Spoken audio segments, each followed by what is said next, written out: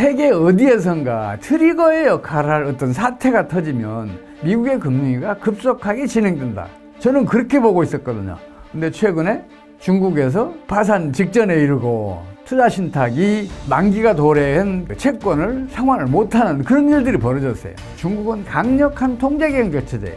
그래서 그 속도를 줄이고 있을 따름이에요. 근데 이게 트리거가 돼서 미국 금융위를 일으키는 거 아닌가 저는 그렇게 보고 있어요. 설령 이게 트리거의 역할을 하지 않더라도 연말쯤에는 미국의 다우지수가 심리적인 저지선이라는 3만을 하향 돌파하면서 금융위기가 본격적으로 진행되고 터지는 것 아니냐 저는 그렇게 우려하고 있습니다. 저는 21세기 경제학연구소 최용식 소장입니다. 올해 초에 경제 파국으로 치닫는 금융위기라는 책을 발간해서 관심을 좀 받고 있습니다. 지금 현재의 미국 경제 상황을 정확하게 파악하려면 어떤 원인으로 어떤 전개 과정을 거쳐서 지금에 이르렀는지 이걸 이해해야 미국 경제가 장차 어디로 흘러갈지 가늠이라도 할 수 있거든요. 그걸 제가 잠시 좀 설명을 좀 드리겠습니다. 2020년 3월 달에 코로나 사태가 번지면서 경제 활동이 정상화 할 수가 없었잖아요. 그러면서 미국 경제가 급격하게 하강을 하기 시작하거든요. 이제 이런 경기 후퇴는 자칫 악순환으로 발전할 수가 있어요. 그래서 미국 정부가 강력한 경기 부양 정책을 펼쳐요. 대표적인 것 제가 세 개만 말씀드리자면 첫째는 재정 지출을 무려 42%를 증가시켜요.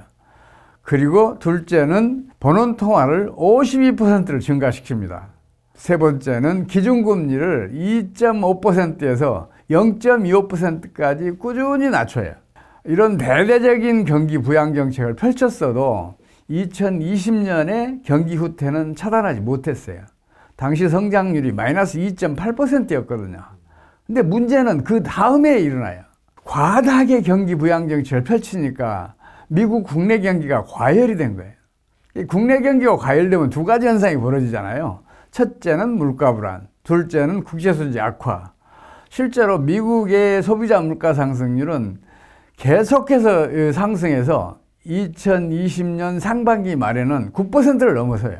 그리고 미국의 경상수지 적자는 2019년 GDP의 2.2%에서 2020년 2.9%로 증가하고 그리고 2021년도에는 3.6%로 또 증가를 해요. 아주 빠르게 증가한 셈이죠. 이 중에서 특히 문제가 되는 게 경상수지 적자였어요. 경상수지 적자가 이렇게 비대해지면 당연히 달러가 해외 시장에 그만큼 유출된다는 걸 의미하잖아요. 그러면 달러 가치는 하락할 수밖에 없잖아요. 그래서 달러 가치가 실제로 하락을 하게 돼요.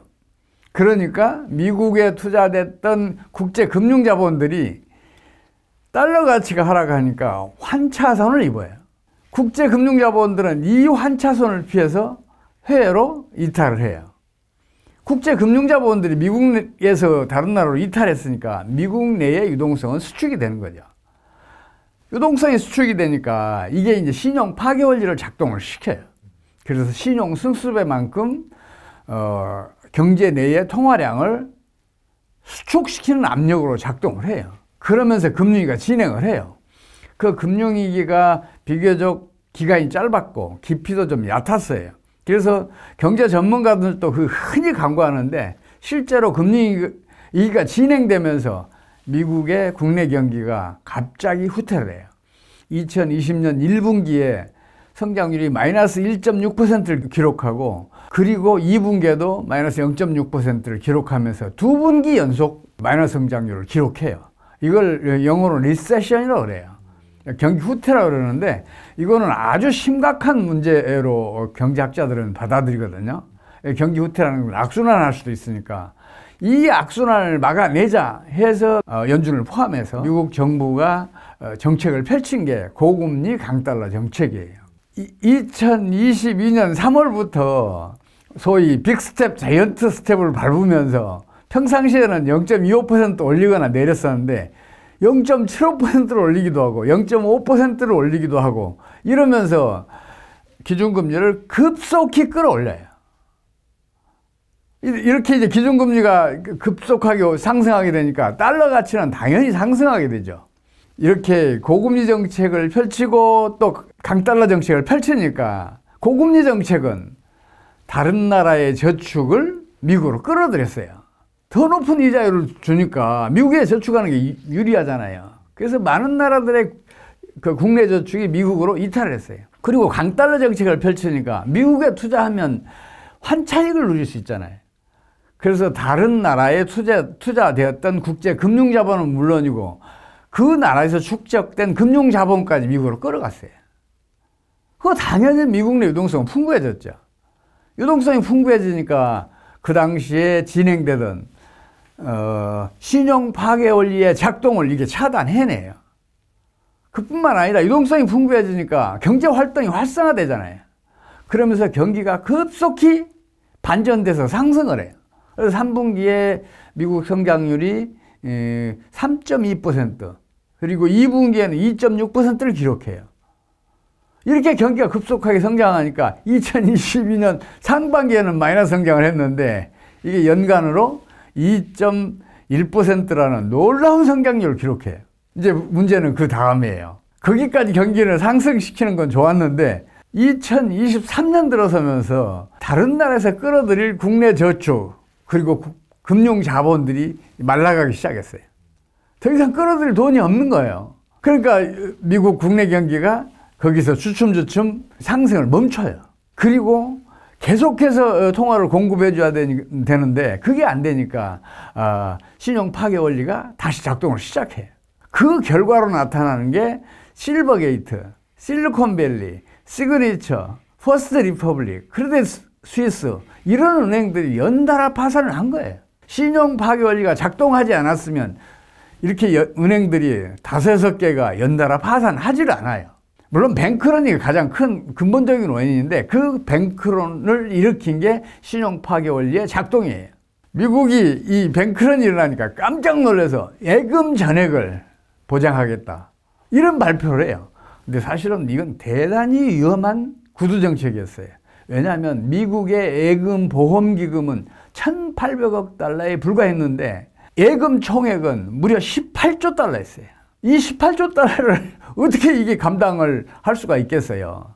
다행히 뱅크런이 딱 멈춰서요. 그리고 신용 파괴 원리 작동이 수면 위로 올라오려다가 다시 수면 밑으로 깔아앉아요. 설령 그렇게 됐다 하더라도 신용 파괴 원리 작동을 완전히 차단하지는 못했어요. 수면 아래에서 여전히 지금 작동 중이에요. 그럼 앞으로 미국 경제가 어디로 갈지는 대충 가늠할 수가 있잖아요. 미국 경제가 여전히 어렵다. 금융위기가 터질 가능성이 굉장히 높다. 세계 어디에선가 트리거의 역할을 할 어떤 사태가 터지면 미국의 금융위기가 급속하게 진행된다.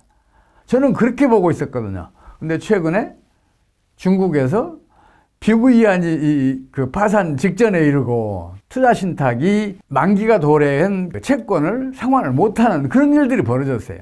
이런 일이 벌어진 것은 중국 경제에서 이미 신용 파괴 원리가 작동하고 있었다. 이렇게 판단을 해야 되거든요. 그래서 중국의 금융위기가 진행되고 있구나 이렇게 판단을 했는데 중국은 강력한 통제경제 체제예요. 그래서 그 속도를 줄이고 있을 따름이에요. 근데 이게 트리거가 돼서 미국 금융위기를 일으키는 거 아닌가 저는 그렇게 보고 있어요. 설령 이게 트리거의 역할을 하지 않더라도 연말쯤에는 미국의 다우지수가 심리적인 저지선이라는 산만을 하향 돌파하면서 금융위기가 본격적으로 진행되고 터지는 것 아니냐 저는 그렇게 우려하고 있습니다. 아, 그 질문 잘해 주셨어요. 미국 경제 상황을 보면 금리를 내려야 돼요, 사실은. 만약에 기준금리를 낮추잖아요. 그러면 달러 가치는 하락을 해요. 달러 가치가 하락을 하면 미국에 투자됐던 국제 금융 자본들은 환차손을 입어요. 그러면 당연히 그 환차손을 피해서 미국을 떠나게 돼요. 그러면 미국 내 유동성은 수축이 되고 이 유동성 수축이 신용 파괴 작동을 수면 위로 끌어올릴 거예요. 그러면 바로 금리가 터져요. 미국이 이걸 몰랐겠어요? 당연히 잘 알고 있겠죠. 미국 연준은 지금까지도 계속 물가 불안 때문에 기준금리를 올릴 수밖에 없다고 얘기를 해요. 2%대 갈 때까지 그 기준금리 올리겠다고 얘기를 하는데 물론 최근에는 좀 분위기가 바뀌었어요. 근데 그 과정에서 미국 연준 의장이 변명거를 자꾸 새로 만들어내요. 올해 2월 달에는 어, 소비자 물가 상승률이 급격하게 떨어지니까 서비스 물가 상승률이 문제다. 또 최근에는 어, 근원 물가 상승률이 문제다. 이런 얘기를 하잖아요. 지금 미국 소비자 물가 상승률은 이미 3%대로 떨어졌잖아요. 물가는 안정됐단 말이에요. 그러면 당연히 지금은 기준금리를 낮추는 게 순리인데 이 국제수지 적자 때문에 그걸 못하고 있는 거예요. 경상수지 적자가 2022년도에 GDP의 3.7%였어요. 이건 대규모잖아요. 이 경상수지 적자가 달러 가치를 하락시키는 압력으로 작동을 하고 있잖아요. 그걸 막아내고 있는 게 고금리 정책이고 강달러 정책이에요. 근데 이걸 포기해봐야 어떤 일이 벌어지겠는가? 당연히 미국은 즉각적으로 금리가 터져요. 그래서 미국은 앞으로도 어, 설령 소비자 물가 상승률이 2%대 떨어지더라도 기준금리 낮추기가 힘들어요. 물론 이제 정치권이나 다른 금융기관들에서는 기준금리 낮춰달라고 요구가 빗발치고 있어요. 그 압력을 얼마나 버텨낼지는 모르겠으나 어, 원칙적으로는 기준금리를 낮추면 미국은 바로 어, 그, 금융위기 늪에 빠져들게 돼요. 저는 그렇게 판단하고 있어요. 미국의 고금리 정책은 이미 심각한 문제를 일으키고 있어요. 미국 국채, 그리고 MBS 등 사채, 이 가격이 지금 계속해서 하락하고 있잖아요. 최근은 더 빠른 속도로 하락하고 있어요.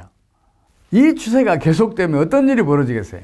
미국의 금융기관들의 경영 수준은 극단적으로 악화될 수도 있어요. 미국의 금융기관들은 국채와 MBS를 모두 보유하고 있어요. 이게 현금 보유 비율로도 인정을 받고 또 자기 자본 비율로도 인정을 받고 있으니까 다 보유하고 있는데 여기에다 어, 국채와 MBS는 이게 안정성이 있잖아요. 그래서 더 많이 보유하고 있어요. 이 가격이 떨어져 봐야 어떤 일이 벌어지겠는가. 더 심각한 문제는 뭐냐면 국채와 MBS와 관련된 파생 금융 상품이에요.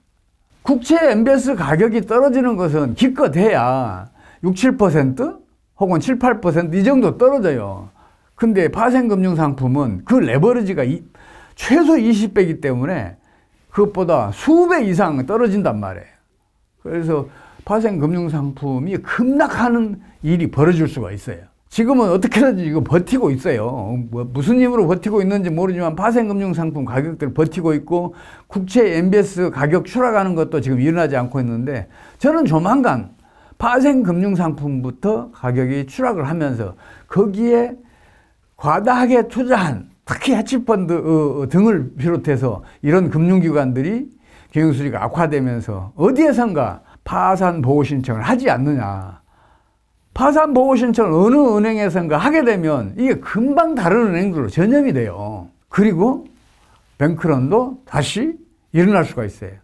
그럼 지금은 뱅크런 그 예금 전액 보장 한다는 보장을 못 해요. 지금 어쩔 수 없는 그 금융위기의 늪으로 지금 미국이 빠져들고 있는 거 아니냐. 지금 그렇게 보고 있어요. 다만 그 몇몇 나라들이 그야말로 바보 같은 정책을 펼쳐서 미국의 금융위기 진행을 늦추고 있어요. 그런 대표적인 나라가 중국, 일본, 한국이. 중국, 일본, 한국은 자국 화폐 가치를 계속 떨어뜨리고 있어요. 정책적으로. 이 나라들은 다 경상수지가 흑자인 나라들이잖아요. 시장의 힘에 의해서는 환율이 떨어지는 게 정상인데 정책적으로 이걸 환율을 계속 상승시키고 있어요. 그러니까 그 나라들에 있는 금융 자본들이 당연히 환차선을 피해서 그리고 미국에 투자하면 환차익이 생기니까 미국으로 지금 흘러가고 있어요. 그 자본들로 지금 미국 경제가 버텨내고 있어요. 근데 그게 언제까지 지속되겠냐고요. 저는 올해 연말까지도 힘들다고 봐요. 그래서 제가 올해 연말에는 미국에서 어, 금리가 터질 것 같다. 이렇게 보고 있습니다. 만약에 미국에서 금리가 터지잖아요. 그러면 미국은 지원이잖아요. 세계 최대의 경제 규모를 가지고 있잖아요. 그래서 그 타격은 다른 나라에서 금리가 터진 것보다 훨씬 커요. 우리가 2008년에 이미 겪었잖아요. 세계 거의 모든 나라들이 마이너스 성장을 했잖아요. 중국만 빼놓고. 그리고 금융위라는 것은 거듭 말씀드리지만 이게 전염력이 굉장히 뛰어나요. 금방 다른 나라로 전염이 된단 말이에요. 그 타격을 또 가장 크게 입을 나라가 중국, 일본, 한국일 것 같다. 그래서 지금 걱정하고 있습니다. 미국의 신용평가 기관들이 모처럼 이번에 제 역할을 하는 것 같아요. 과거에는 금리가 터진 다음에 신용 등급을 떨어뜨려서 오히려 더 혼란스럽게 했었고 사실은 신용평가 기관들은 미리미리 그걸 그 신용 등급을 낮춰 줘야 되잖아요. 그래야 대처할 시간적인 여유를 주잖아요. 그래서 이번에는 어, 금리가 터지기 전에 그 신용 등급을 낮췄어요. 그러니까 신용 등급이 낮아진 지방 은행들을 중심으로 해서 이런 은행들이 대처할 시간적인 여유를 갖게 됐잖아요. 자기 자본도 확충할 수 있게 됐고 또 현금 보유비율도 조금 더 높일 수 있고 뭐 이런 그 어, 대비를 할 수 있게 된 거죠. 그래서 신용평가기관들이 이번에는 제 역할을 했다. 그래서 어, 신용하계원리 작동에 따른 금융위기의 진행 이거를 좀 더 덜 심각하게 하게 할 수도 있겠다. 그런 판단을 하고 있습니다. 미국이 지금 자기네들 고금리 강달러 정책을 펼친 근본 원인을 자꾸만 이걸 숨기고 있어요. 사실은 고금리 강달러 정책은 내 이웃을 거지로 만드는 정책이에요. 고금리 정책으로 국내 저축을 미국으로 빼앗긴 나라들, 그리고 미국의 강달러 정책으로 자국에 투자됐던 국제 금융 자본을 뺏긴 나라들. 이 나라는 어떻게 되겠어요?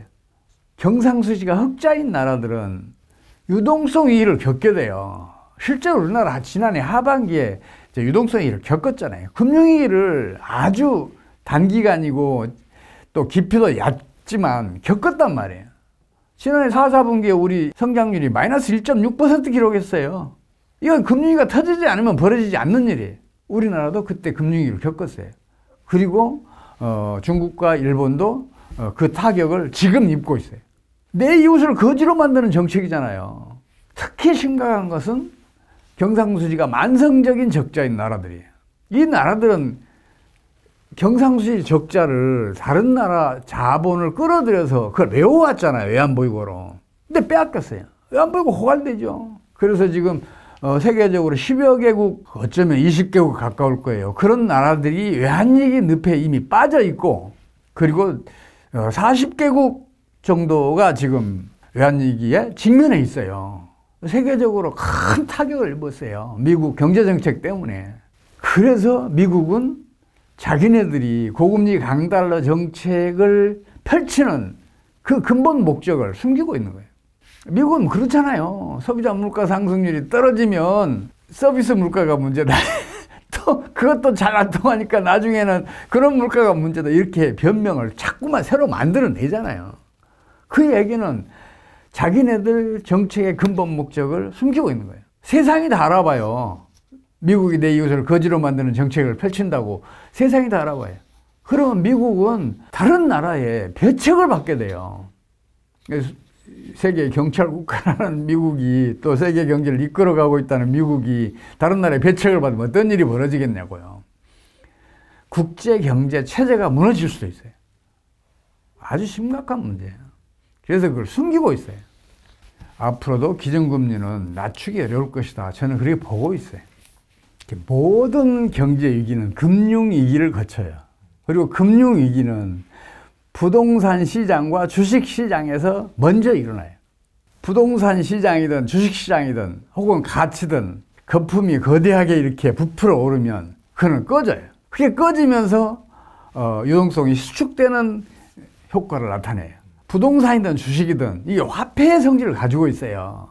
거래 수단으로도 이용이 되고 또 가치 저장 수단으로도 이용이 돼요. 이 두 가지는 화폐의 가장 기본적인 기능 두 가지예요. 그래서 준화폐, 유사화폐에 부동산과 주식을 포함시킬 수 있어요. 근데 거기에서 거품이 꺼지면 당연히 경제 내 전체의 유동성은 수축되는 결과를 초래를 해요. 그러면서 신용 파괴 원리가 작동을 하고 금리가 일어나요. 근데 미국의 지금 주식 시장이든 부동산 시장이든 지금 거품이 지나치게 커져 있어요. 너무 부풀어 있어요.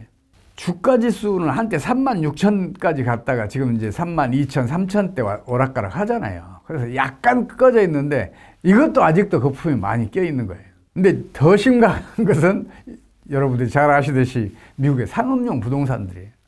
상업용 부동산 가격이 근래에 한 10년 동안에 대도시 중심으로 중심가의 그 부동산들은 거의 다섯 배에서 열 배가 상승했어요. 그 명백한 거품이거든요. 이게 지금 꺼지고 있는 중이잖아요. 공실률도 계속 늘어나고 있다는 그 보도들이 자꾸 나오잖아요. 그러면 부동산 가격은 지금 이제 부동산을 가진 사람들은 다 부자들이잖아요. 그리고 그 유동성이 풍부한 그 금융기관들이 또 보유하고 있잖아요. 그래서 지금은 버티고 있어요. 근데 그 언제까지 버티겠어요? 공실률이 계속 커지고 기준금리가 계속 상승하고 그러면 그 부담이 더 커지잖아요. 조만간 부동산 시장이 그 거품이 꺼질 것 같다. 그러면서 금융위도 진행될 것 같다. 저는 그렇게 보고 있어요. 그 전에 어, 미국 주시장 거품이 먼저 꺼지는 거 아니냐 이렇게 보고 있고 상업용 부동산뿐만 아니라 미국의 주거형 부동산도 거품이 좀 끼어 있어요. 이것도 대도시 중심으로 이게 서너 배씩 지금 상승해 있거든요. 이, 이것도 꺼질 수 있다. 저는 그렇게 봐요. 근데 희한하게 금융위가 터지기 전에는 뭔가 트리거 역할을 할 게 꼭 터져요. 근데 그 트리거는 언제, 어디에서, 어떤 형태로, 그리고 어떤 식으로 터질지를 도저히 모르겠더라고요. 제가 이제 경제 병력을 수립하면서 임상 사례도 열심히 공부했는데 세계 금융위기 사례들을 다 연구해봐도 이 트리거가 어떤 형식으로 어, 언제 어디에서 이렇게 터지는지를 파악을 못했어요.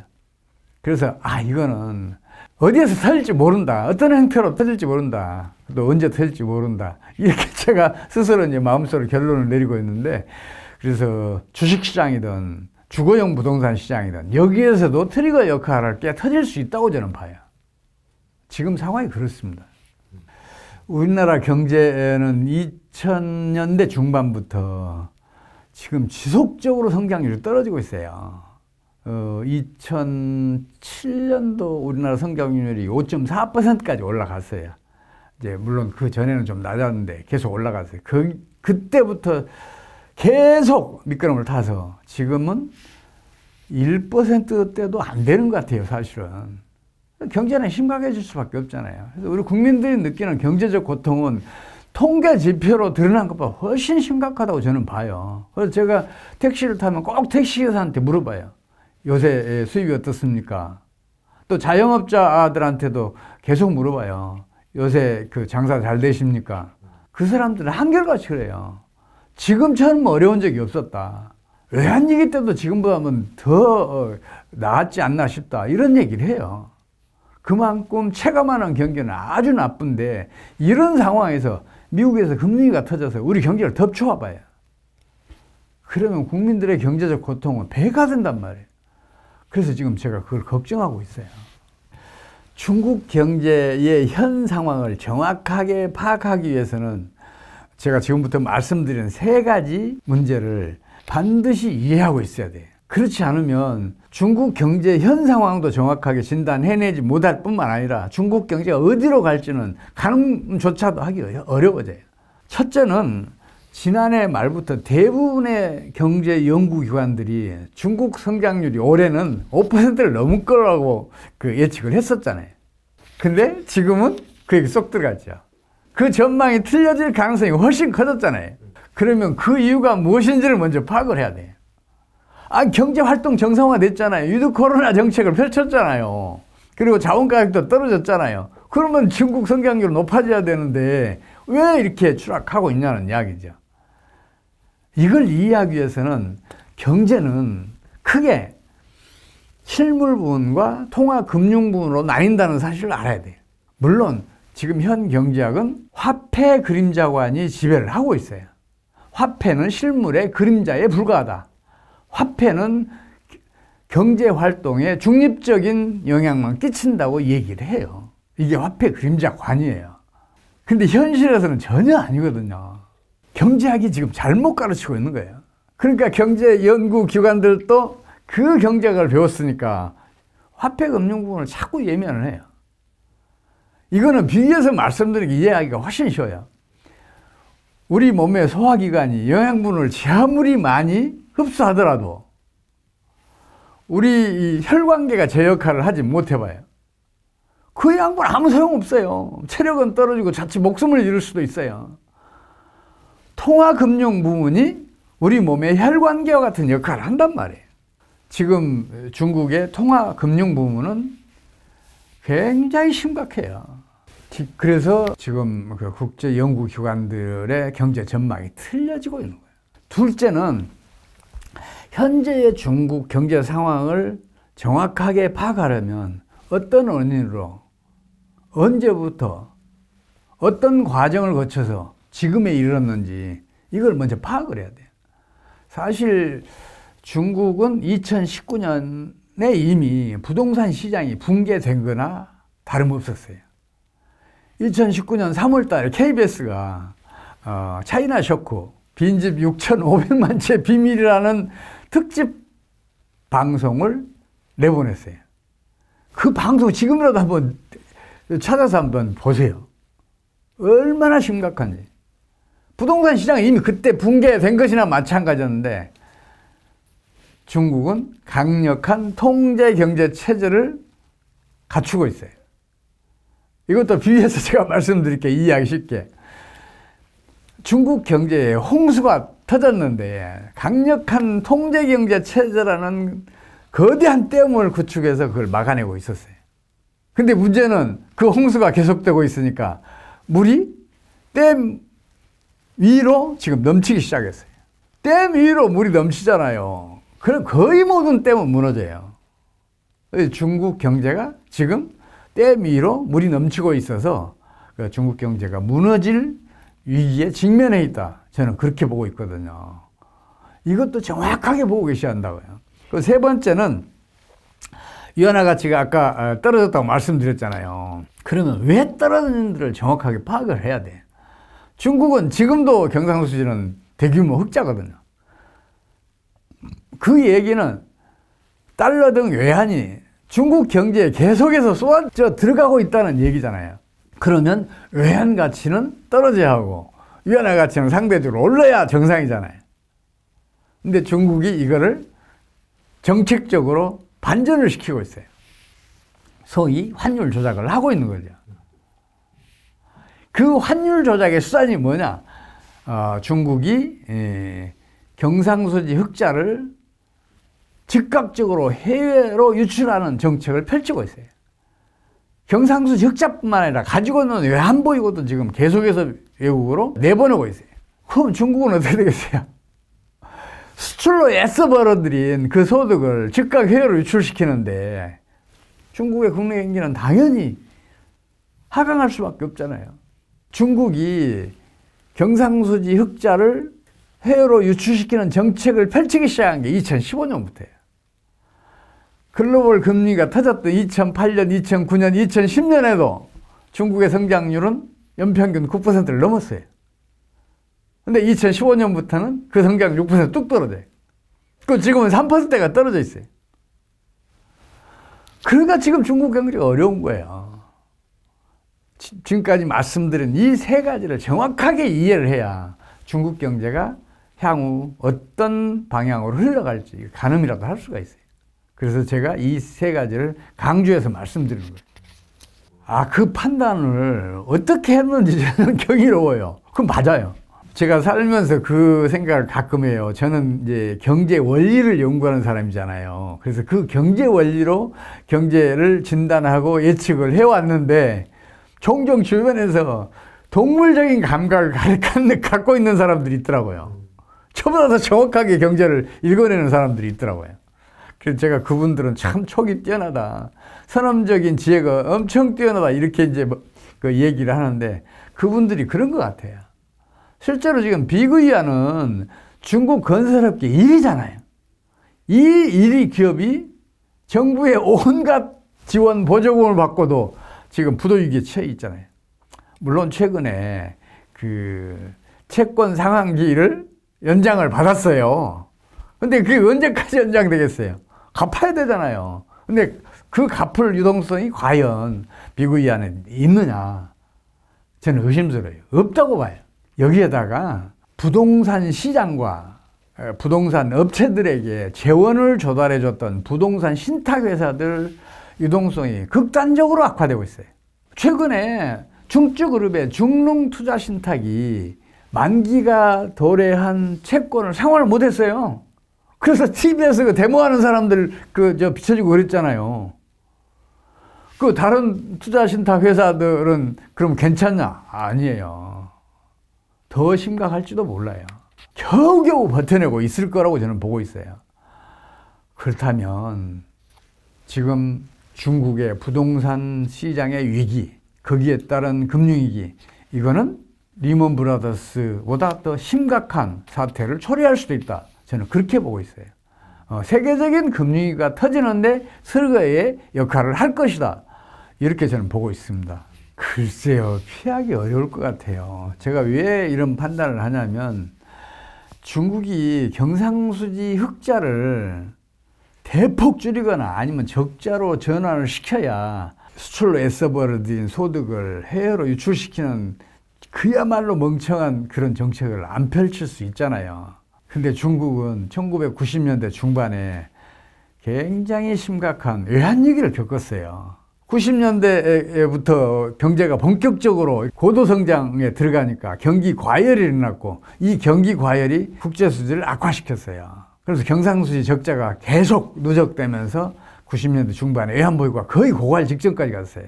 중국 정부가 여기저기 구걸을 해서 겨우 외환보유고 채웠어요. 구제금융 받아서. 그 쓰라린 경험을 가지고 있어요. 그래서 90년대 어, 중반 이후에 어, 중국 정부의 경제정책 최고의 목표는 경상수지 흑자를 확대하는 것이었어요. 근데 그 정책 목표를 지금 포기하겠어요? 거기다가 중국은 중국몽에 지금 빠져서 지금 거기에서 헤어나지 못하고 있는데 그래서 중국이 이번 경제위기에서 벗어나기 어렵겠다. 저는 그렇게 생각하고 있습니다. 일단 이제 중국 경제가 일본형 초장기 경기 침체의 늪에 빠져들고 있다는 얘기를 해요. 경제 전문가들이 이제 그런 얘기를 흔히 해요. 저도 거기에 동의를 하는데 대신 그 사람들이 과연 일본이 왜 초장기 경기 침체의 늪에 빠져들었는지 그 원인이 어디에 있는지를 파악하고 그런 얘기를 했을까 그런 의심은 들긴 해요. 사실 일본 경제가 초장기 경기 침체 늪에 빠진 근본 원인을 파악을 하면 중국 경제도 그 길로 간다. 이걸 확신할 수가 있게 될 거예요. 일본하고 중국이 똑같은 정책을 펼치고 있으니까 그게 뭐냐면 경상수 흑자를 해외로 유출시키는 정책이에요. 일본도 그랬잖아요. 경상수 흑자가 계속 커져요. 그러니까 환율이 계속 떨어지는 거예요. 90년대 중반에는 한때 77엔까지 떨어졌어요. 수출업체들이 난리가 난 거죠. 그 국내 산업 공동화 이런 그 얘기들도 막 이 회자되고 막 그랬었어요. 그러니까 일본 정부가 환율을 끌어올리기 위해서 경상수지 흑자를 또 자기네 외환보유고를 함께 해외로 유출시키는 정책을 펼쳤어요. 지금까지 그러고 있어요. 시장의 힘에 의해서 경상수지가 흑자니까 환율이 떨어지면 정책의 힘으로 그걸 다시 끌어올려요. 그러면 다시 시장의 힘이 그걸 또 끌어내려요. 그걸 한 다섯 차례 정도 지금 그 일본이 반복하면서 어, 경기 침체의 늪에서 30년 동안 벗어나지 못하고 있어요. 근데 중국도 지금 똑같은 정책을 펼치고 있잖아요. 그러니까 중국도 그리 갈 거라고 봐요. 그러면 중국 경제가 그 길로 가면 우리나라에 대한 타격은 얼마나 클 것이냐 이것도 좀 고려를 해봐야 되잖아요. 근데 우리나라는 그런 상황임에도 불구하고 다시 고도성장 가도에 올라설 수 있다고 봐요. 왜냐하면 기업은 망하기 때문에 강해요. 기업은 망하지 않기 위해서 필사적인 노력을 기울이기 때문에 경쟁력이 높아져요. 지금 현재 그렇잖아요. 중국 경제가 심각한 지경으로 빠지면서 우리 수출이 대폭 줄었잖아요. 우리 수출 기업들 뭐였어요? 미국 시장의 문을 더 확대해서 뚫었잖아요. 유럽 시장에 대한 수출도 급증하고 있잖아요. 얼마 전까지만 해도 중국이 우리나라 제1대 수출 시장이었는데 지금 미국이 제1대 시 장이 됐어요. 우리 수출 기업들은 그만큼 강하다고요. 망하지 않기 위해서 필사적인 노력을 기울인 그 힘이 그만큼 강해. 그래서 중국 경제가 아무리 어려워지고 일본 경제가 아무리 어려워져도 우리가 헤쳐나갈 길은 분명히 있다.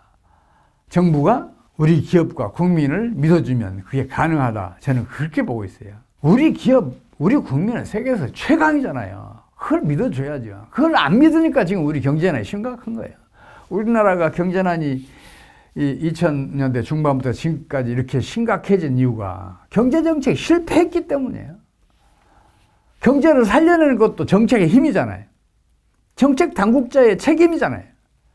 그러면 경제를 살려내지 못한 책임이라도 정책 당국은 실감을 해야 돼. 그리고 경제를 살려낼 길을 새로 찾아내야 돼. 그게 다른 게 아니에요. 우리 기업과 국민을 믿어주면 돼요. 우리 국민과 기업이 피땀을 흘려서 새로운 문을 열 수 있도록 해줘야 돼. 그렇잖아요. 중국 문이 닫혔을 때 우리 한류가 어떻게 했는가를 생각을 해보시라고. 중국이 험한 정책으로 우리 한류 다 차단했잖아요. 그러니까 우리 엔터업체들은 동남아 시장, 일본 시장, 미국 시장, 중남미 시장, 유럽 시장, 중동 시장, 서남아시아 시장, 지금 아프리카 시장까지 개척해내, 고 있잖아요. 아, 우리 기업은 엔터 업체뿐만 아니라 다른 수출 기업들도 그만큼 강해요. 어느 문이 닫히면 연다니까요. 기어이 개척해내요. 우리 정부가 우리 기업과 국민을 못 믿으니까 자꾸만 우리나라도 경상수 적자를 해외로 유출시키고 그리고 환율도 자꾸만 정책적인 힘으로 끌어올리고 그러니까 지금 이렇게 심각한 거예요. 경제난이. 자국 화폐가 국제 기축통화가 되잖아요. 그러면 여러 가지 이점이 있어요. 그 중에서 특히 화폐 발행 비용은 거의 없잖아요. 그러니까 화폐를 발행해서 다른 나라에서 피땀 물려서 생산한 재화를 공짜로 사올 수 있어요. 얼마나 좋은 일이에요. 지금 미국이 그러고 있어요. 그러니까 다른 모든 나라들이 부럽죠. 그래서 수많은 나라들이 국제 기축 통화에 도전을 해요. 그런데 단 하나도 성공한 적이 없어요. 세계대전 이후로는 최소한. 왜 그러냐면요. 자국 화폐가 국제 기축 통화가 되기 위해서는 전제 조건이 한 다섯 가지 정도 있어요. 그 밖에도 몇 가지 더 있는데 중요한 거 다섯 가지만 제가 말씀드릴게요. 첫째는 자국 화폐 가치가 장기간 안정적이어야 돼요. 근데 중국 위안화가 장기간 안정적인가요? 아니잖아요. 음, 최근에 가치가 많이 떨어졌죠. 그리고 둘째는 다른 통화나 다른 저와 아주 쉽게 아주 간단하게 거래될 수 있어야 돼.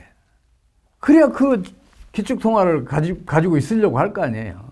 셋째는 이 두 가지를 위해서 국내 외환시장이 충분히 발달해 있어야 돼. 중국은 국내 외환시장이 아주 유치한 수준에 불과해요. 셋째는 환율 조작이 최소화돼야 돼요. 아니, 없어야 돼요. 중국 위안화를 제가 샀어요. 근데 예, 중국 정부가 환율 조작을 통해서 위안화 가치를 뚝 떨어뜨려 봐요. 나는 손실을 크게 보죠. 그래서 환율 조작이 되도록이면 없어야 돼요. 이게 네 번째고요. 다섯 번째는 정치가 안정적이어야 돼요. 갑자기 정변이 일어나 봐요. 화폐 가치는 폭락해요. 그래서 정치가 안정적이기 위해서는 민주적인 제도가 정착돼 있어야 돼요. 중국은 그게 아니잖아요. 어, 이런 다섯 가지 이 전제 조건을 중국은 하나도 충족시키지 못하고 있어요. 네. 어, 그래서 중국 위안화가 국제 기축 통화가 되기까지는 앞으로도 요원하다. 어쩌면 영원히 불가능할지도 모른다. 저는 그렇게 보고 있어요. 물론 중국은 지금 여러 시도를 해요. 그 산유국들 특히 사우디, 러시아, 뭐 브라질 등등을 엮어서 이제 그 중국 위안화를 국제 거래 화폐로 만들기 위해서 노력을 하는데 그게 과연 성공할까요? 사우디는 그래도 그 자국 화폐 가치가 안정적이에요. 경상수지가 흑자니까. 근데 러시아 화폐 가치는 지금 반 토막도 더 났잖아요. 브라질은 3분의 1 토막 났잖아요. 중국이 끌어들여서 이 국제 기축통화 구축하려고 했던 나라들 화폐 가치가 떨어졌는데 이제 1대1로 교환했다고 생각을 해봐요. 중국은 큰 손실을 입을 수밖에 없잖아요. 그래서 몇몇 나라가 작당을 해서 기축통화를 만든다. 이거는 꿈에 불과해요. 이루어질 수 없는 꿈에 불과해요. 저는 그렇게 보고 있습니다. 시진핑은 중국에서 이제 절대 군주나 마찬가지예요. 독재 권력을 거의 확고하게 굳혀놓은 상태잖아요. 근데 절대 권력은 자신의 권력 유지가 최고의 목표예요. 그렇잖아요. 독재자가 그 권력을 놓쳐봐요. 어떤 운명에 처하는지. 그런 사례는 많잖아요. 자기 성명 잃어요. 아주 비참한 최후를 맞는다고요. 그래서 어, 독재자는 자, 자신의 독재 권력을 유지하는 것을 제일 목표로 삼아요. 근데 대만 침공해봐요. 지금 확고하게 굳혀놓은 이 독재 체제가 흔들릴 수도 있잖아요. 러시아의 푸틴이 지금 우크라이나 침공해갖고 어떤 일이 벌어졌는가 봐요. 푸틴의 권자가 흔들리고 있잖아요. 그런 일을 시진핑 그 꼴을 보고 할까요? 나는 아니라고 봐요.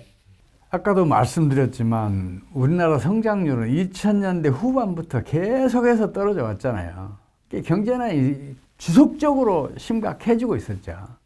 그리고 지난해 말에는 강원도 레고랜드 사태가 터진 다음에 건설업계 전반 유동성 위기에 빠졌었고 그리고 금리가 진행이 됐었어요. 그래서 4분기에는 어, 성장률이 마이너스 1.6%를 기록했을 정도로 경기가 급속하게 후퇴했어요. 물론 올해 들어서는 반전을 이뤘지만 지금도 우리 경제 내에서도 비록 물밑에서지만 신용 파괴리가 작동 중이에요. 지금 그 건설업계를 비롯해서 여러 그 업계 사람들을 만나보면 왜 이렇게 유동성이 말랐냐는 얘기를 저한테 자꾸 해요. 그 신용 파괴를 작동을 하기 때문이다. 제가 그런 얘기로 간단히 얘기하고 마는데요. 지금 신용 파괴 원리 작가 물밑에서지만 작동하고 있는 건 분명한 사실이에요. 그리고 여기에다가 장차 세계적인 금리가 터져서 우리 경제를 덮쳐올 수도 있는 상황이잖아요. 중국 경제 에서 금리가 터지면 이거 바로 미국으로 전염된다니까요. 그게 전 세계에 전염되면서 우리 경제도 덮쳐와요. 그러면 우리 국민들이 느끼는 경제적 고통은 얼마나 클지 지금부터 저는 걱정해요. 다만 우리 경제가 이 난국을 헤쳐날 길은 있어요. 정부 경제정책 실패만 하지 않으면 우리 경제는 아직도 여전히 체력이 막강하고 경쟁력도 아주 강해요. 이거는 제가 기회가 있으면 달리 말씀드리기로 하고 이제 금방 물어보신 질문에는 이 정도로 답변에 가름하겠습니다. 이 말씀부터 먼저 드릴게요. 우리 정책 당국자 그리고 관변 경제학자들은 우리나라 경제난이 심각한 것은 저출산 고령화 때문이라고 그래요. 여기에 최근에는 중국 경제가 어려워서 우리 경제가 어렵다는 이야기를 그게 덧붙이고 있어요. 과연 그럴까요? 이것들은 우리 경제가 성장하는데 장애물인 건 틀림없어요. 근데 장애물이라는 것은 그 앞에 좌절하라고 주어진 게 아니라고 저는 봐요. 그걸 뛰어넘으라고 주어진 것이라고 저는 본다고요. 그 얼마든지 뛰어넘을 수 있다고 봐요. 실제로도 그런 장애를 뛰어넘은 나라가 제법 있어요. 세계사를 들여다보면. 그런 대표적인 나라 하나만 제가 사례로 말씀드릴게요. 아일랜드는 1980년대까지도 경제난이 아주 심각했어요. 그래서 아일랜드 1인당 국민소득은 서구에서 가장 낮았어요. 유럽의 병자라는 소리를 들었어요. 젊은 사람들이 일자리를 잡을 수가 없었어요. 그러니까 주로 젊은 사람들 중심으로 일자리를 찾아서 해외로 해외로 이민을 떠났어요. 인구가 반토막이 났어요. 근데 그런 상황에서 여기에다가 1980년대 말부터 90년대 초까지는 세계적인 금리가 터졌어요. 그런 악조건 속에서도 아일랜드는 1990년대 넘어서면서 고도 성장을 지속해요. 심지어 1인당 국민소득 2만 달러, 요새 기준으로 3만 달러 넘어요. 그걸 넘어선 뒤에도 10년 동안 연평균 성장률이 9.3%를 기록해요. 아일랜드가 해냈다면 우리나라도 할 수 있잖아요. 왜 못 해내요? 우리 국민이 아일랜드 국민만 못합니까? 우리 기업이 아일랜드 기업만 못합니까? 우리 국민은 세계 최강이에요. 우리 기업도 세계 최강이에요. 이 얼마든지 그 장애물을 뛰어넘을 수 있단 말이에요. 미리 좌절을 하니까 자꾸 그런 얘기들이 나오는 거예요. 저출산 고령화에도 특히 저출산에서도 제가 이 기회에 꼭 한 말씀 드리고 싶어요. 저출산이 심각한 문제라고 생각하신다면 제발 관심 좀 끄시라고 그 말씀을 드리고 싶어요. 대표적인 사례 하나 또 말씀드릴게요. 프랑스의 출산율은 상당히 장기간 동안 세계 최저였어요. 근데 지금은 최소한 유럽에서는 출산율이 최고예요. 프랑스는 어떤 정책을 펼쳤길래 출산율이 이렇게 높아졌을까요? 그걸 파악하면 우리 저출산 문제 해결할 길이 열리잖아요. 근데 그런 사례가 있는데 왜그 연구 검토를 안 하냐고요. 우리 정책 당국 관변 경제학자들은. 장애물은 뛰어넘으라고 있는 거라니까요. 뛰어넘으려면 그 연구 검토부터 해야 할 거 아니에요. 프랑스가 장기간 저출산에 시달리니까 이게 사회적인 이슈로 아주 크게 부각이 됐어요. 그래 입 달린 전문가들은 다 저출산 문제를 얘기를 했어요. 경제 전문가들뿐만 아니에요. 다른 전문가들도 전부 다 그 얘기를 했어요. 사회적 이슈가 되니까 출산율은 계속 떨어져요. 근데 저출산 문제가 워낙 장기간 여러 사람이 반복해서 얘기하다 보니까 식상해지기 시작해. 그래서 사회적 관심이 점점 이제 떨어지는 거예요. 근데 그때부터 놀랍게도 출산율은 높아져요. 이 이유는 논리적으로 설명하기는 어려워요. 이 사회심리학이 이미 증명해 놨어요. 자살이나 출산율과 같이 심각한 문제일수록 다루면 다룰수록 심각해져요. 우리 몸의 상처도 그렇잖아요. 자꾸만 만져봐요. 점점 악화된단 말이에요. 자살률, 출산율도 마찬가지예요. 건드리면 건드릴수록 커진다니까요. 프랑스가 이미 증명했잖아요. 관심 끄세요. 그러면 우리 출산율 올라간다고요. 우리 정부가 지금 출산율을 올리기 위해서 280조를 썼다 그러잖아요. 완전 낭비요. 완전 미친 짓이에요. 사회심리학만 공부했어도 그런 짓 안 해요. 사회심리학이 거기 나와 있잖아요. 이미 실험을 통해서 증명을 해놨잖아요. 물론 이제 출산에 대해서는 안 했고 자살에 대해서만 연구를 해놨는데 그렇다면 그걸 타산지석으로 삼아야죠. 그것 때문에 경제난이 심각하다고 변명하기 위해서 거기에 더 관심을 기울이게 하는지도 모르겠어요. 결론적으로 말씀드려서 우리나라의 경제난이 점점 심각해지고 있는 것은 경제정책 실패 때문이에요. 다른 거 없어요. 그 경제정책 중에서 가장 크게 실패하고 있는 게 고환율 정책이에요. 우리 정부는 환율을 끌어올리면 수출이 증가한다고 믿어요. 그러면 경기도 상승할 것으로 믿어요. 근데 이런 사례는 세계사를 다 뒤적여봐도 없어요. 환율이 오르잖아요. 수출은 반드시 줄어요. 경상수지도 악화돼요. 현실이 이론이 틀렸다고 얘기하면 이론을 바꿔야 될 거 아니에요. 왜 이론에 집착하냐고요. 반대로요. 환율이 점진적으로 하락하잖아요. 수출은 반드시 늘어납니다. 이건 세계사가 여러 번 증명했어요. 우리나라도 두 번을 증명했어요. 1980년대 후반, 그리고 2000년대 상반.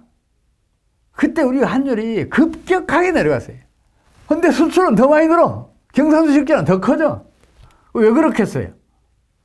환율이 떨어지잖아요. 수출 기업들은 파산 지경에 이르게 돼요. 그럴 거 아니에요. 예를 들어서 환율 1,300원일 때 100달러짜리 수출했으면 13만 원 벌 수 있는데 이게 900원으로 떨어지면 9만 원밖에 못 벌잖아요. 그럼 수출 기업은 망하기 직전이죠. 그럼 수출 기업 어떻게 하겠어요? 망하지 않기 위해서 필사적인 노력을 기울여요. 150달러짜리 개발해야 돼요. 그걸로도 안 돼. 200달러짜리 개발해야 돼요. 그렇게 해서 기업의 국제 경쟁력이 높아져요. 거기에 따라서 국가적인 국제 경쟁력도 높아져요.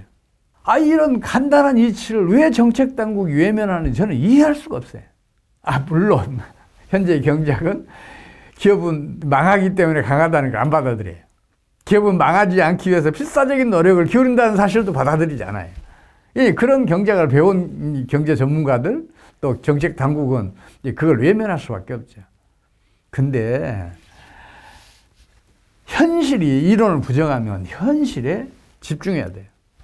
제발 그쪽 방향으로 정책을 틀어내면 우리 경제는 앞으로 더 고도 성장을 할 수 있다. 다시 고도 성장 가도에 올라설 수 있다고 저는 믿어요. 우리 기업, 우리 국민은 세계 최강이기 때문에 그렇단 말이에요. 세계사적으로 경제 정책이 경제를 성장시킨 사례는 없어요. 국민과 기업이 경제를 성장시켜요. 자꾸 정책 당국이 자기들 힘으로 경제를 성장시켰다고 믿기 때문에 쓸데없는 정책을 펼치는 거예요. 우리 정부가 제발 환율만 점진적으로 인하를 시키잖아요. 그럼 수출도 늘고 경상수 흑자도 커질 거 아니에요. 그리고 국가 경쟁력도 커지고 성장 잠재력도 커질 거 아니에요. 그러면 지금 닥쳐오고 있는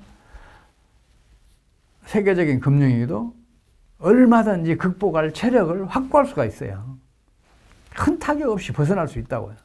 근데 정부는 반대로 가고 있어요. 제가 놀랄만한 사실을 최근에 발견했는데 이 말씀도 드려야겠다. 저는 우리나라에서는 금융위기가 먼저 터지지 않을 것으로 봤어요. 근데 제가 틀릴 수도 있다고 오늘 아침에 여러 경제 지표를 보면서 확인했어요. 우리 기준금리는 동결을 했는데 대출금리는 계속해서 상승하고 있는 거예요. 이건 뭔가 이상하다. 어? 유동성이 수축되고 있다는 걸 의미한다. 그리고 여러 경제 지표들을 확인을 해봤어요. 그랬더니 놀랍게도 지금 어, 정부가 우리 경상도 적자 외환보유고를 회화로 유출시키는 정책을 2000년대 중반 이후로 계속 펼치고 있거든요. 아, 다시요. 2010년. 우리 정부가 외환보유고는 물론이고 경상수지 흑자도 해외로 유출시키는 정책을 펼치고 있어요. 환율 방어를 위해서. 근데 그게 해외 투자라는 미명으로 유출을 시켰는데 어떤 기관들을 동원했냐? 처음에는 어, 이명박 정권에서는 정책금융공사를 동원했어요. 이 정책금융공사 망했어요. 자본금이 이 전부 다 날아가니까 다시 산업은행에다가 복속시켰어요. 그 다음에는 한국투자공사를 설립했어요. 환율 방어하기 위해서.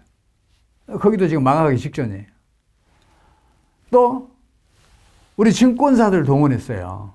재원이 비교적 풍부한 국민연금, 교원연금인가? 뭐 이런 등등. 정부 산하기관들도 동원했어요.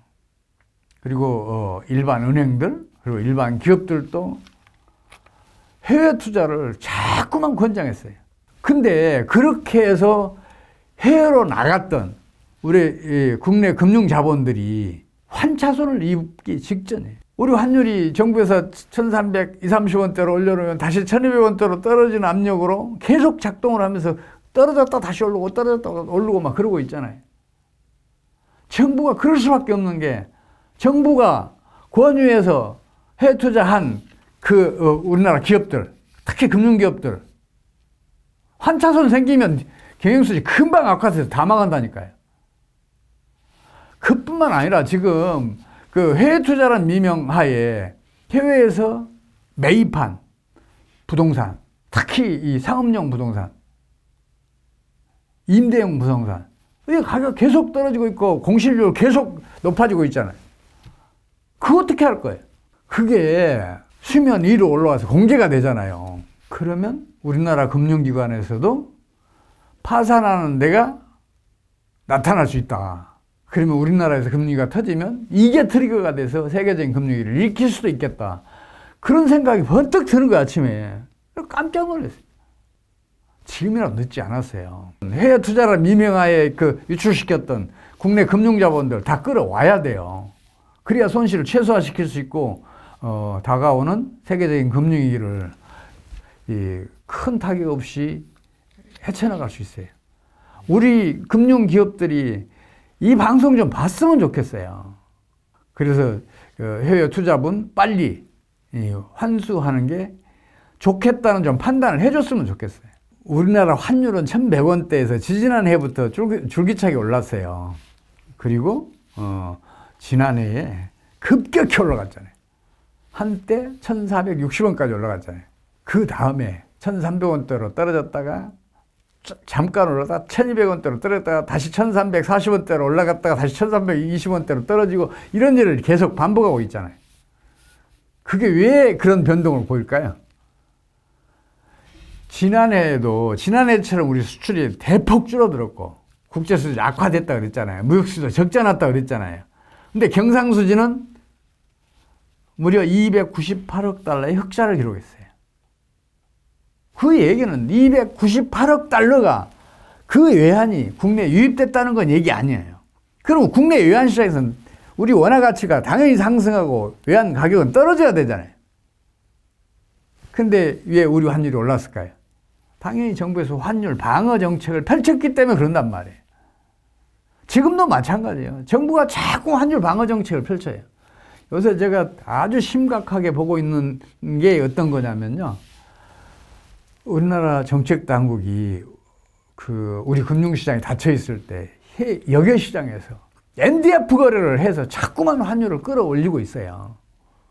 그, 그게 제 눈에는 보인다고요. NDF라는 게 넌 딜리버리 퓨처스잖아요. 우리말로 번역하자면 차액 결제 선물환이란 말이에요. 근데 이거는 레버리지가 20배예요. 반복하면 400배도 만들 수 있어요. 그러니까 작은 재원으로 큰 거를 해서 환율 방어하기가 쉬워요.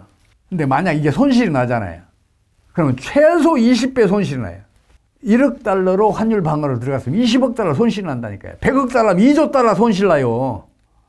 나중에 극단적으로는 이론적으로는 아 나는 우리 외환당국 보면 야 정말 용기가 너무한 거 아니냐 이런 생각을 해요. 그런 짓 하면 안 돼요. 환율 방어하는 것도 지금 문제인데 지금 그런 극단적인 수, 단으로 환율 방어하다 우리 외환보고 다 날리는 수가 있어요. 실제로 지난해 2022년도에 우리 외환보유고가 600억 달러가 사라졌어요. 그렇게 해서 사라진 거예요. 우리 수출 기업들이 피나는 노력으로 수출한 그 금액이잖아요. 그렇게 벌어들인 돈이잖아요. 이게 날아갔다니까요. 제발 이런 짓 안 했으면 좋겠어요. 그래야 우리 경제가 살아나요. 정책 당국에게는 경제난에 중요한 변명거를 하나 제공하고 있어요. 분명하잖아요. 어?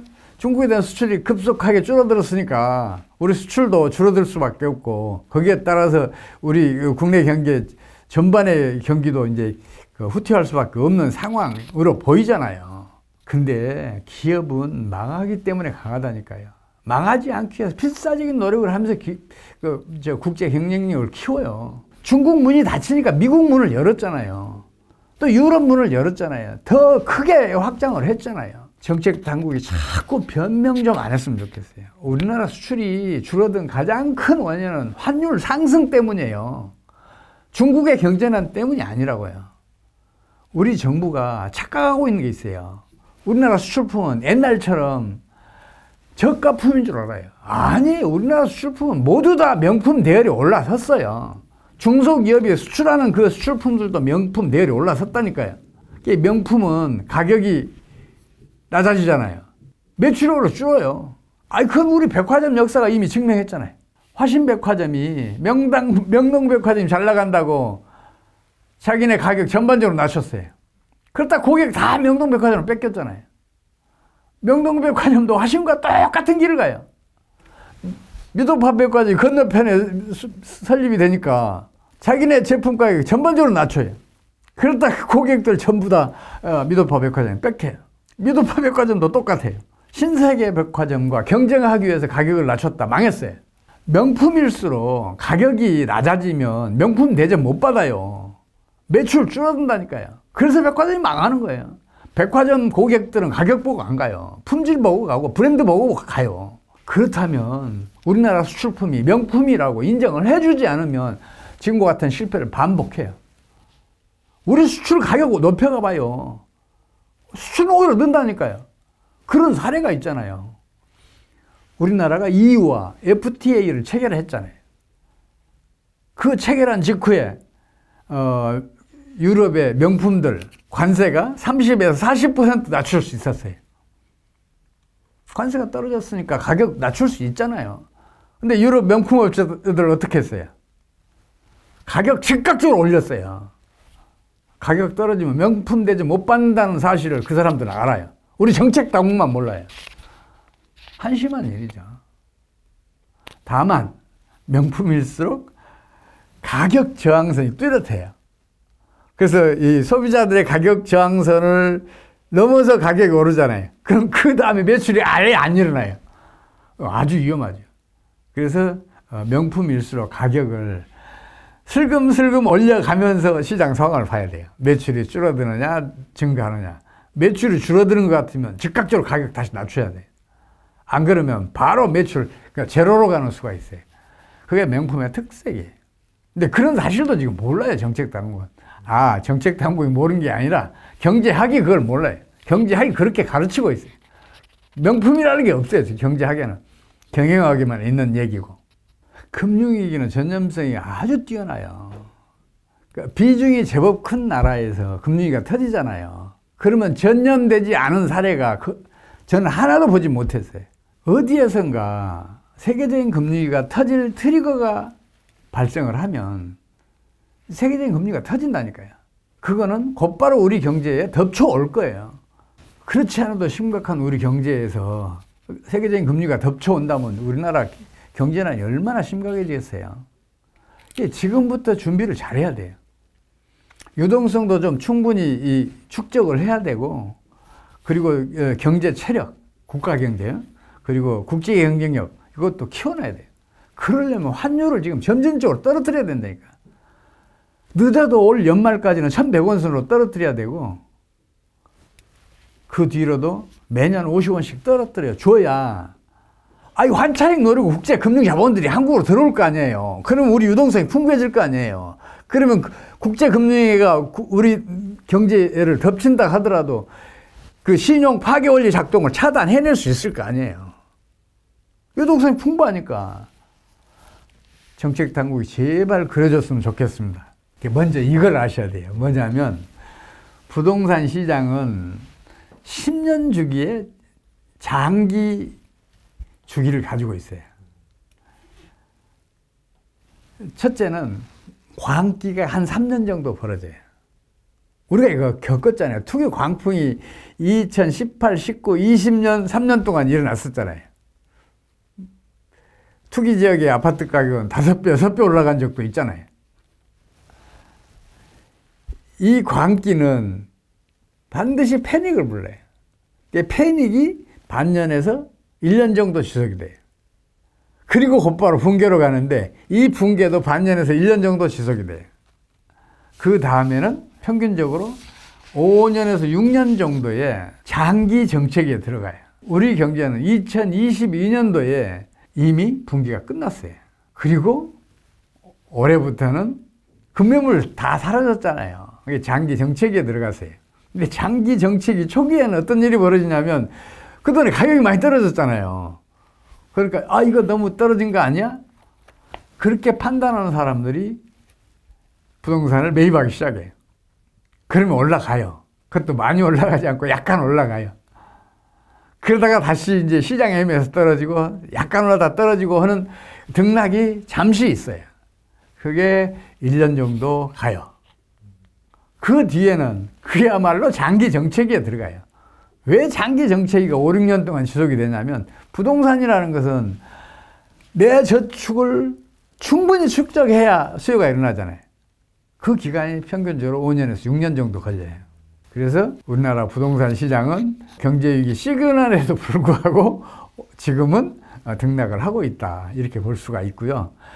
문제는 이 장기 정책이 중에도 세계적인 금리가 우리 경제를 덮치면 우리 부동산 시장도 더블 딥에 빠질 수 있다.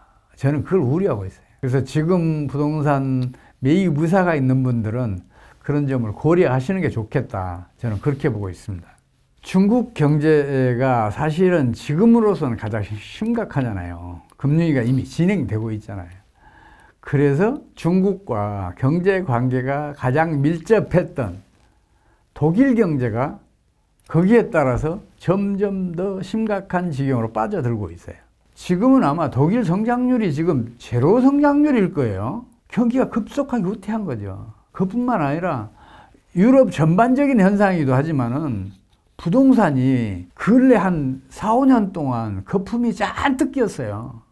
특히 상업용 부동산 중심으로. 그래서 중국의 지금 부동산 회사들 부도 위험이라는 보도가 자꾸 나오고 있어요.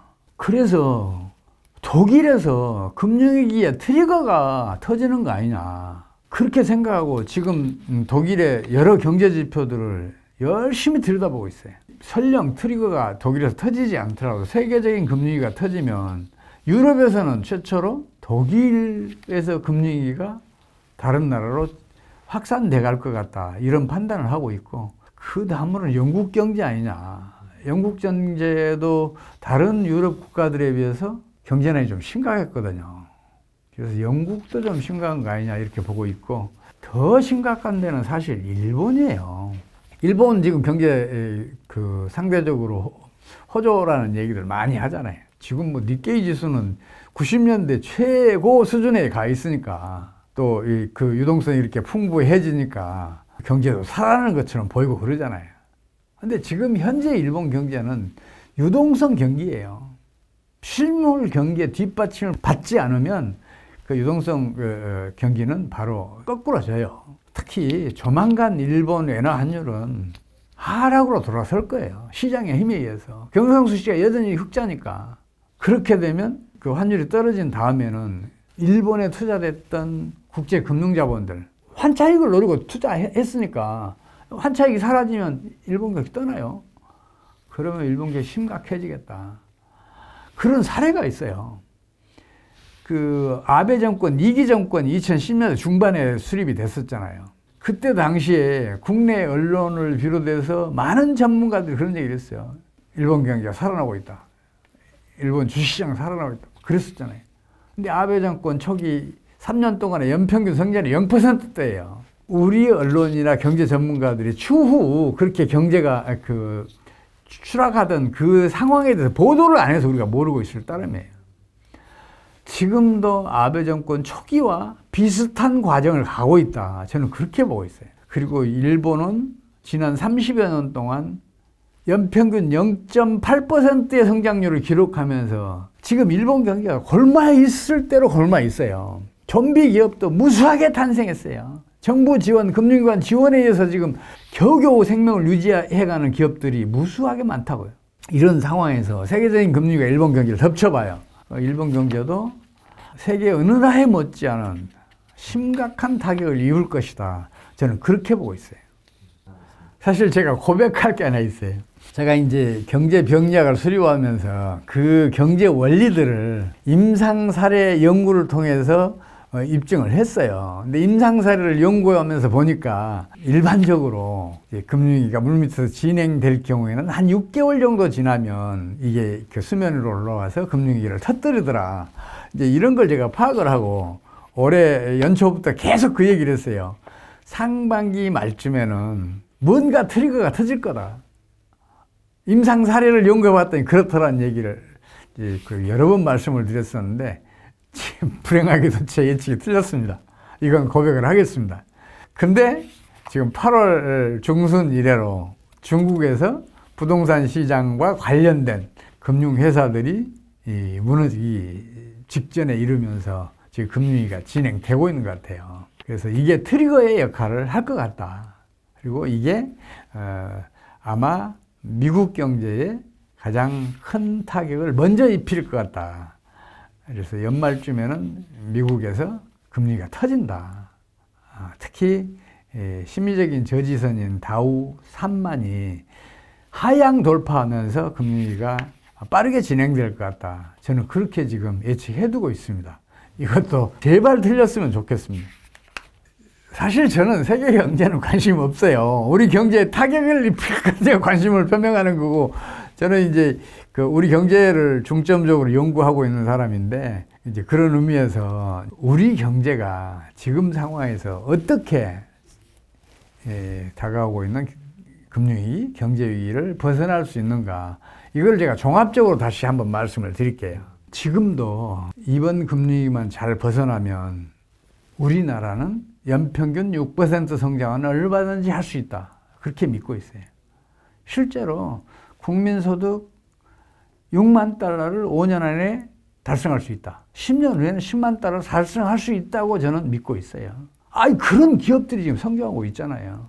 반도체는 메모리뿐만 아니라 시스템 반도체, 반도체 설계, 후공정, 그리고 어, 검사 장비 등등 이, 이 반도체 전반적인 산업은 국민소득 10만 달러 얼마든지 견뎌내요. 그리고 그 배터리 제약 산업을 비롯한 정밀 화학 산업들 이것도 국민소득 10만 달러 견뎌내요. 수송 기계류를 비롯한 일반 기계류 이것도 10만 달러 버텨낼 수 있지만 정밀 기계 산업은 그거 훨씬 높은 수준도 견뎌낼 수 있어요. 여기에다가 일반 재화들도 명품대로 다 올라섰잖아요. 명품은 국민소득 10만 달러 얼마든지 견뎌낸다니까요. 또 덧붙여서 문화와 산업은 상호작용을 하잖아요. 우리 한류 세계를 휘젓고 있잖아요. 이게 우리 산업에 얼마나 지대한 영향을 끼치고 있는가는 K푸드 수출, 의료 산업 이쪽에 그 외국인들 그 치료로 오는 거 뭐 등등 엄청난 영향을 끼치잖아요. 한류 덕에 우리나라 그 수출품들이 다 명품 대회로 올라갔다 그래도 틀림이 없잖아요. 우리 화장품 봐요. 옛날에는 일본 자생당 화장품 우리가 사서 썼는데 지금은 일본에서 우리나라 화장품 없어서 못 팔 정도로 그러잖아요. 그래서 저는 정부가 환율만 점진적으로 하락하는 것을 용납해 준다면 우리 인당 국민소득 10만 달러 얼마든지 간다. 10년 안에. 이렇게 믿고 있고요. 그리고 지금 닥쳐오고 있는 금융위기도 환율만 떨어뜨려주면 외국 자본들이 환차익 노리고 국내에 들어올 거 아니에요. 그럼 국내 유동성이 풍부해져서 금융위기를 막아낼 수 있을 거 아니에요. 아니, 제발 그래 주기를 기원하고 있어요. 자꾸 변명하지 말고 저출산 고령화 이거는 얼마든지 뛰어넘을 수 있는 장애, 장애물이라니까요. 중국 경제 그 문 닫히면 다른 문 여는 게 우리 기업이라니까요. 기업은 망하기 때문에 강해요. 어느 한 문이 닫히면 다른 문을 반드시 열어요. 우리 엔터업계가 그렇게 했었고 우리 수출기업들이 그렇게 했잖아요. 그걸 정부가 좀 그 믿어주고 음? 그 경제 정책으로 뭐 저 성장률 높이겠다는 그런 망상 좀 버렸으면 좋겠어요. 지금 금융위기가 닥친다는 얘기는 저만 하는 게 아니잖아요. 어, 지금은 미국에서도 미국 경제가 이상하다는 얘기가 최근에 지금 들려오기 시작하고 있잖아요. 그렇다면 어떻든 간에 우리 경제는 물론이고 세계 경제 앞날이 불투명하다는 건 사실이잖아요. 제가 좀 지나치게 과장했는지는 모르지만 이걸 고려하더라도 지금 불투명한 건 사실이잖아요. 그렇다면 지금처럼 불투명할 때는 그리고 미래가 잘 내다보이지 않을 때는 최대한 수비적으로 그리고 신중하게 경제 활동을 해야 돼요. 투자도 마찬가지. 그래야 손실을 최소화시킬 수 있어요. 지금은 어떤 의미에서는 망하지 않기 위해서 노력하는 게 우선일지도 몰라요. 그 망하지 않기 위해서는 어떻게 해야겠어요? 유동성 먼저 확보해야죠. 아, 그런 점을 고려해 주셨으면 좋겠고, 경제 공부를 어떻게 해야 하느냐는 질문을 받을 때마다 제가 참 난처해요. 저는 경제학자를 자임하는데, 저는 자꾸 그 얘기를 하거든요. 지금 현재의 경제학은 현실에서는 전혀 쓸모가 없다.